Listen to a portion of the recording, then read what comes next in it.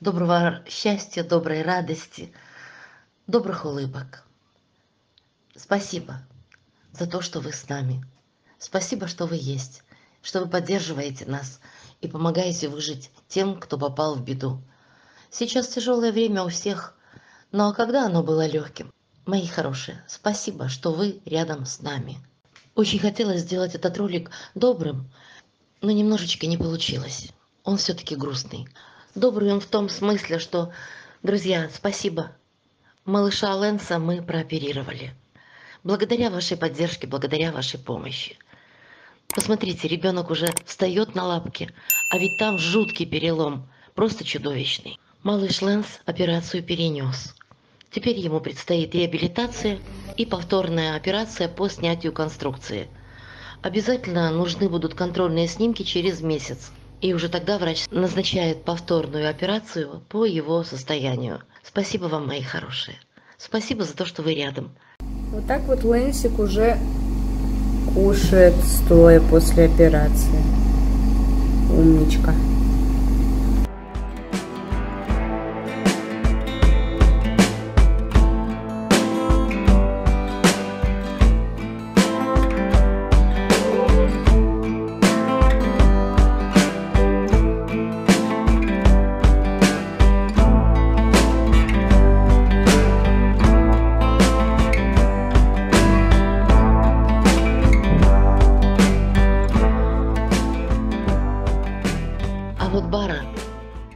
Бара из тех, кого нашли, подобрали.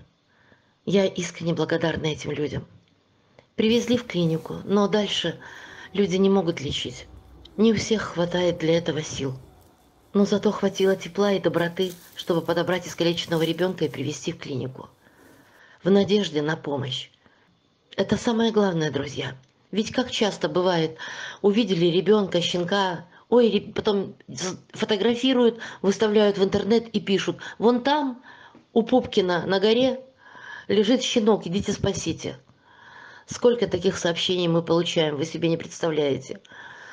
Это чудовищно, потому что иногда, когда мы приезжаем, оказывается уже поздно.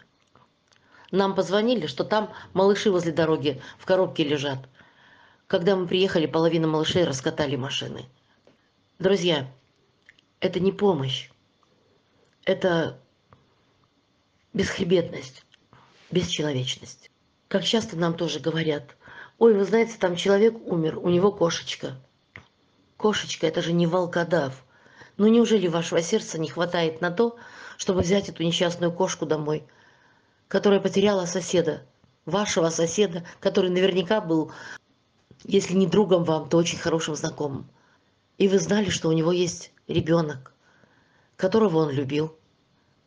Но вы все равно его выбрасываете и ищете, куда его спихнуть. Я понимаю, тяжело, когда на цепи остается крупный пес. Это проблема. А вот когда остается кошка, котенок, не мне судить люди, не мне. Я высказываю свою точку зрения, я возмущаюсь тем, что мы словно одеревенели, словно окаменели. Душами, мои хорошие. Спасибо вам за то, что смогли сохранить в душе тепло и согреваете этот мир. Своим вниманием, состраданием, милосердием, своей отзывчивостью. Ведь благодаря вам мы смогли спасти уже многие тысячи жизней. Я не боюсь этого слова, друзья. Тысячи прошли через наш приют за эти 18 лет. Были и смерти, была безысходность, отчаяние, все было. Но посмотрите наши ролики «Приветы из дома». Сколько в них счастья. И сотворено оно вашими руками. Спасибо вам, люди, от всего сердца, от всей лохматой души. Спасибо вам.